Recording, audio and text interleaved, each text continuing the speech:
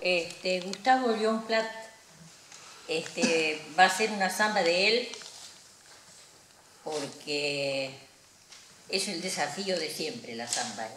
Es muy difícil. Se han hecho tantas, pero tantas, tantas, tantas zambas fantásticas que es muy difícil hacer mantenerse dentro de la estructura de lo que es una samba como danza y crear cosas nuevas. Es siempre un desafío. A ver, Gustavo.